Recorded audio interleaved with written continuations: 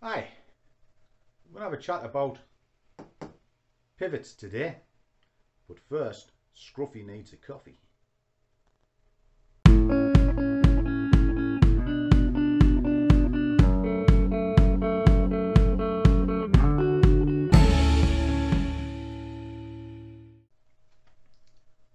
Hi, welcome to the channel.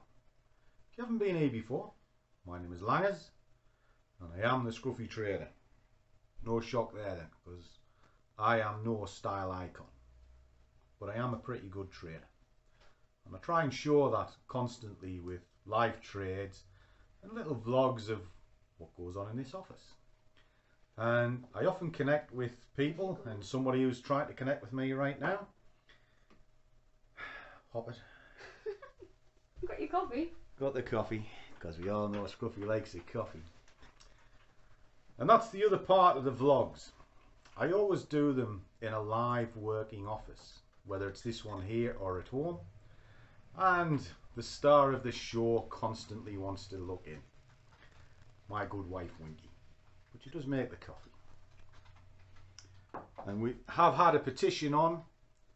Let's see how far we've got, because I'm not even going to mention what it is. And we know what it is. Chances? It's gold. Yes? Chances? No, I don't have one. No gold bikini, guys.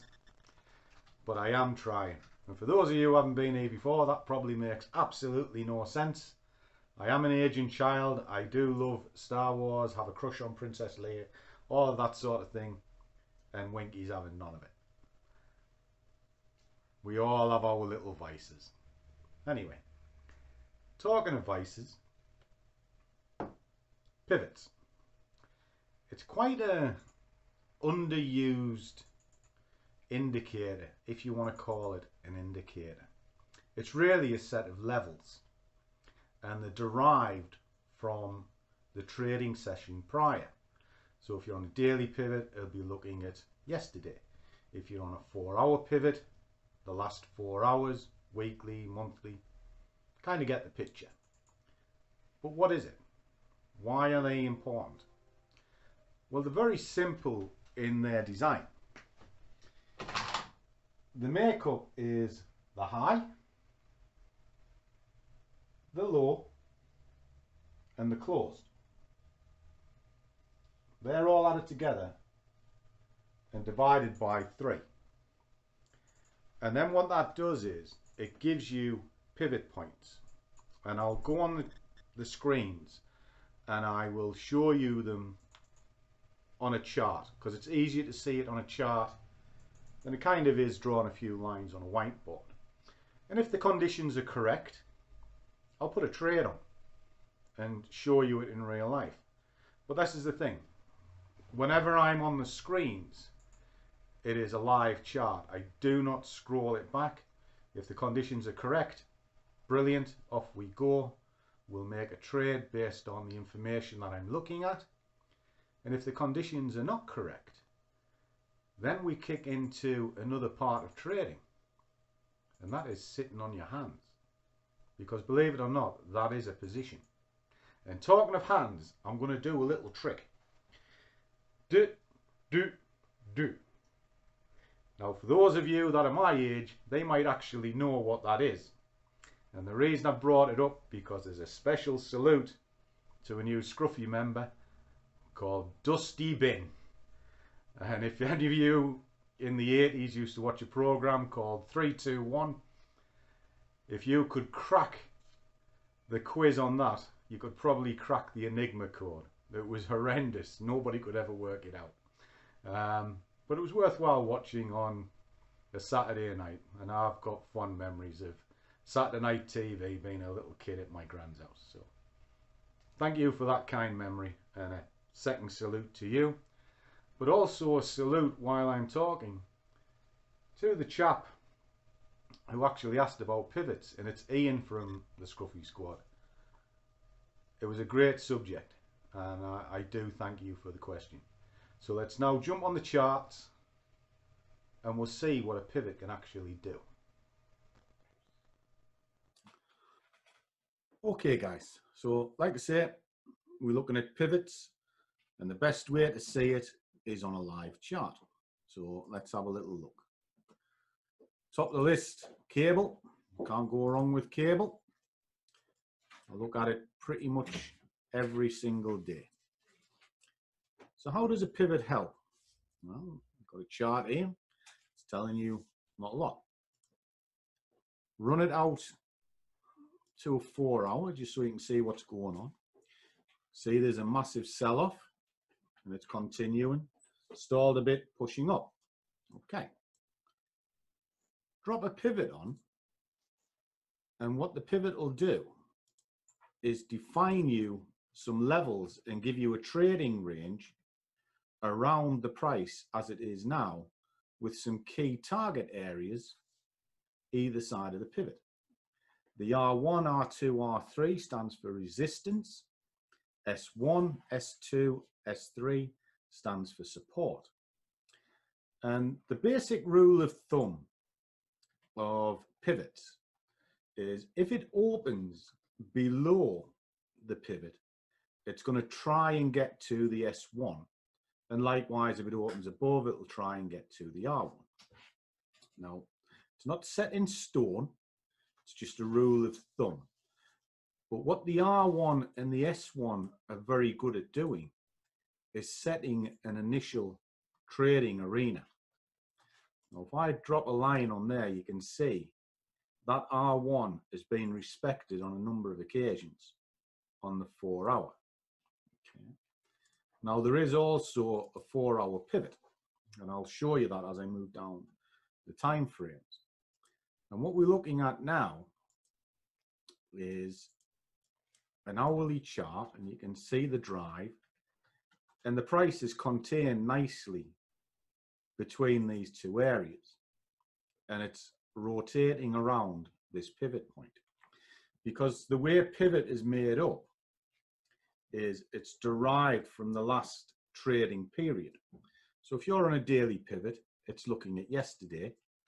And as I showed you on the whiteboard, it's a very simple formula. Just pull it up so you can see it. It's the high, the low, the close, divide by three. Very simple. You can do it where it's the high, low, open, or all four. High, low, close, open, divided by four. So the maths is pretty simple, you know. And the way you would trade this, I mean, if you pop on the four hour, you can see straight away there's, there's a shift and the shift is slightly up, which is this, you know, it's that, that leg, but the dominant trend is down. Okay. And the daily pivots seem to be a little bit more stronger, a little bit more accurate, shall we say. So how do we actually know that this is in a downward move? Well, there's the old fashioned way. You can just see it. Yeah, well, there's no denying that's going down. So there'll be no shock when I put on a moving average. There's a 20 and a 50 that they are down and in alignment, 50 above the 20. Pull it to the hourly and it's the same. Now, these moving averages are quite dynamic and they act as support and resistance. And you can see it comes up, it respects, it dances around, breaks, and then it respects the other one, breaks away, and one thing and another.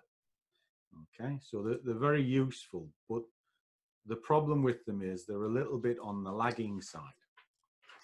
So if I was just to use a pivot, okay, I take a dominant direction, in this case down, and then what I'm looking for is either a rejection of these levels moving down with an overall pinpoint around here. Okay. And the way I would use it is I would have a trading range. I'm wanting to work on here. And if it's up here and rejects, I'm going to try and get it to the pivot. If it gets to the pivot and rejects, I'm going to try and get it to here and carve off money on the way down. So like I said, if I have a situation where I can see a trade, I'm going to take it and just show you in action. Well, here we go. Right, this is a 15 minute. See you drive up, push down, up, it's rejection, and now it's having to think about it. So we will micromanage it by dropping it down onto a five, and let's have a look. Well, again, you can clearly see the rejection. Little bit of indecision here. You know, that's because you've got tails on either side. But it's pushing. So what we're going to do is we're going to drop a couple of orders in. Just on the other side of the tail, out the way. Because I want to see it come to me. I don't actually want to be on the wrong side of this. So I'm only going to put a couple of orders in.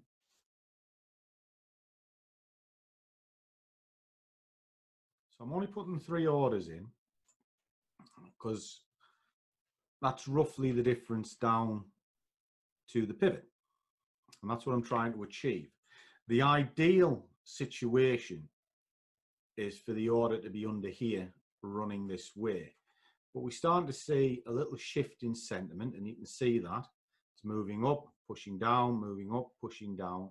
And you've got a series of higher highs, which is here.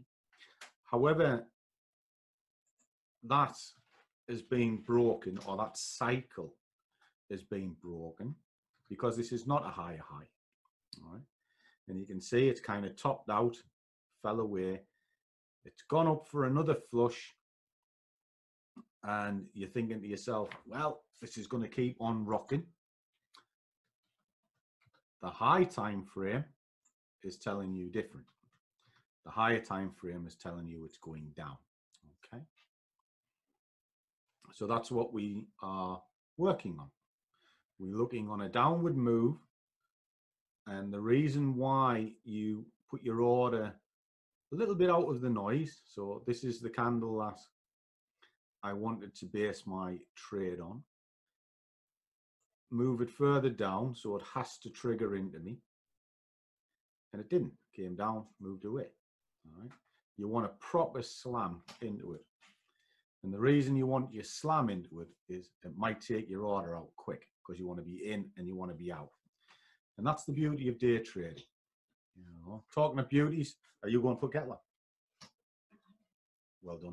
Do you see see that subtle hint there, guys? See see how much of a ninja I was there. Now you're a winder, all right. Whinger. Yeah. Can I work with you, you know? You really can. Well, you can. She, she, is, she is my best friend. And now you wait. But because you've set up your trading parameters, shall we say, you know, you've set your stall out.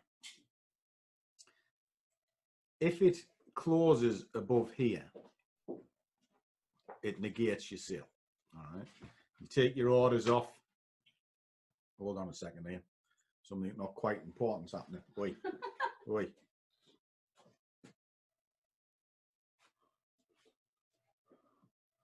See that? One word from me and she does as she likes. Oh, yeah, I'm right. Never mind. I've had a great week this week, actually. Well, sort of. I've Had a great week on the charts anyway. Winky's been happy and I've had loads of takeaways. I'm doing really well. Yeah, so happy days. Right. So again, while I'm looking at this, sorry, I was rabbiting a little bit. I can't force the markets for you guys. And when I am doing this, I'm doing it as part of my job, my, my, my day job, if you like. And I can only trade a live chart. You know, it's very easy for me to scroll back and open up a chart from months and months or even years ago, because I've seen that as well, and say, that's it. That's uh, the trade I would have took. No, you, you need to see it in action. So that's exactly what we're going to do. Hello. stranger. I'm all right, bunny lad. Not strange about you, is it? I've got a visitor. Yes, while I'm trying to do this live, Mighty Mouth has turned up. Do you want to say hello to the world, Kevin? Hello, everybody, and I just hope No, no, you oh, have to you have to look in the camera. This thing here. Th- th- This is our driver who comes visit us all the time, Yes. and he abuses me on a regular basis because he doesn't like Star Wars. He is a sycophant. No, I don't like that. Get out. Yeah, cheerio. While while you're in there, you, Just get the bucket. yeah, well, kettle, kettle's boiling, my kid. It is, huh? You're right. I've got time. You haven't got time. No, All right, I'm okay. sorry for interrupting you, man. It's all right, bunny lad. Don't you panic. What's wrong with your eyesight? Eh? What's wrong with my eyesight? I ain't no bunny lad. I am old. Totty tot, toodaloo. Sorry, boys and girls. Um, like I say, this is a working office, and we do have visitors coming left, right, and centre. And that was Kevin. Uh, he collects our parcels, ready to send off to the customers. Okay, because this is week, uh. This is Winky's business, where I come and terrorise everybody on a daily basis. So I do apologise for the rude interruption, but we do enjoy ourselves. So what I'm going to do, I'm going to let this play out because there's not a lot more I can say about the pivot apart from it's giving me a defined range, it's giving me a target area, and it's also giving me a stop area because it's very simple. You know, I'm entering the trade down here to get down to there. Stops are on the other side of it, up here, out of the noise. So I'm nicely protected. And you're depending on whether you can get this to keep on running, you've got a good risk to reward as well. You know, but when you're setting out your stall, because I get pulled on risk reward all the time, you never know whether you're going to be right or wrong and that's why I scale. So it's just knocking out money. Every time a position closes out, it reduces my risk and it's paid me. And if the last little part doesn't play out fully and gets stopped out, then it gets stopped out. But the other ones will have paid for it. That's the theory. And I've done it a very long time and it works and over a period of time it's turned out to be very very profitable okay and that's something i show all the time and if you're interested in the, the ways that i trade just look in the description and, and you'll find various links to contact me and the little bits and pieces that i do for you guys okay so we triggered and we're off and running and i'll be triggered in a moment because i've heard the kettle go kevin hasn't made me a coffee he insulted me by not liking Star Wars, but I like it because tea. And Winky's it off. Do you know we were talking about Star Wars? Wait. Is, is there something you would like to do for me about Star Wars? Yeah, Let you watch it. she's going to let me watch it. It was a subtle hint It that is. didn't work. we know what it was. right. I'm going to let this play down. I'm going to enjoy the coffee. And then I'll come back to you if we win or we lose. Okay?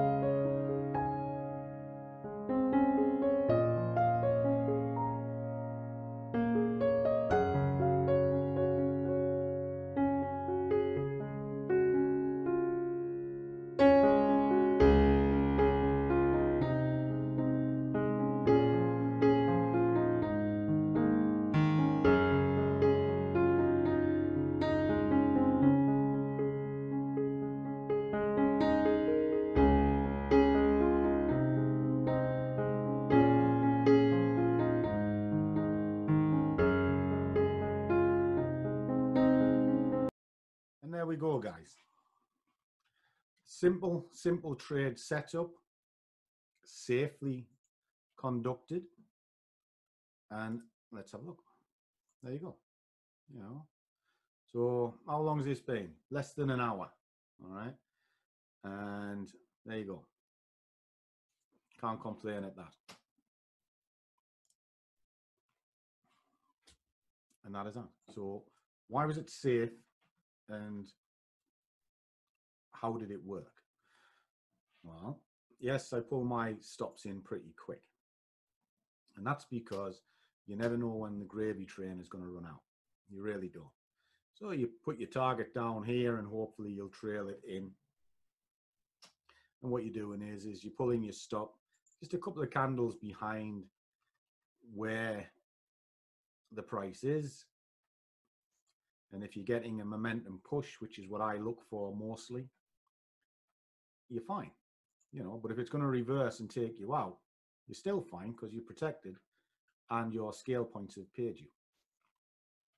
That's that's the main theory.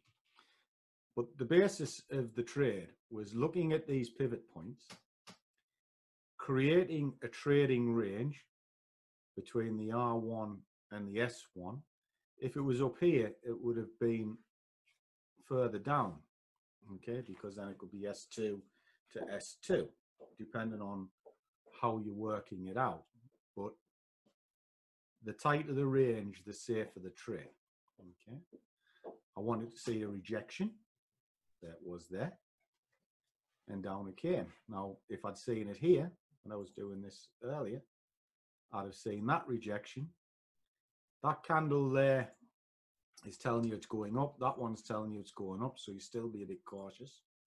This one you can see a shift in sentiment, but it's still mainly up. And then that candle there is telling you it's go time. So you ping an order in underneath there to try and get down here. Yes, it goes against you a little bit, but then wallop down it goes. And again, your stops are up there. So it's quite an easy, safe way to trade just using these three lines. Okay. It's all rotating around this and it's contained between there. So if it goes up, you're looking to get from there into here, the midpoint. If it breaks the midpoint, it's looking to go down there. Simple as that. But the key element is based on your overall preference. My overall preference was down, short. So the two key areas I was looking at was this one and this one. And it was very simple, just like what I said. You look for rejection there to come back to the mid. You look for a break of the mid to get down to there. Simple, simple stuff. Okay. And that's the key with trading. Keep it simple and trade what you see, not what you think. And that's the, the best advice I can give you. So I'm going to leave it there. I'm going to wrap it up. Had a great day, being paid, hopefully showing you something, had a cup of coffee, and Winky even bought me some chips. Fantastic. So remember, guys, do what you love, and the money will follow. See you all in the next one.